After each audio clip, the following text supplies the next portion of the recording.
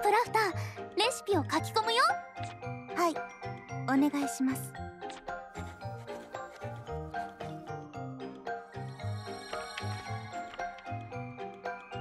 どう？何か思い出したことはある？はい。確かに今思い出しました。本当？やったねえねえどんなことを思い出したの？私の想定にはアウレ牛の皮が用いられています。うんうん。え？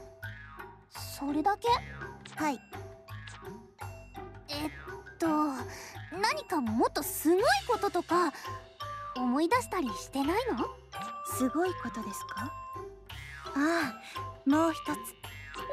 どんなこと？私は閲覧のためではなく記入していくために存在している図鑑だということですつまり知識を書き入れてもらうことこそが本会なのです。えー、っとよくわからないけどプラフタにレシピを書き込むのは正しい使い方ってことだよね。そういうことです。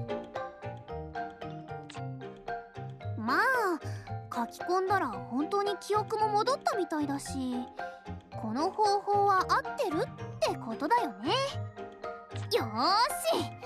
プラフタの記憶を取り戻すためにもっと錬金術の勉強頑張らないと。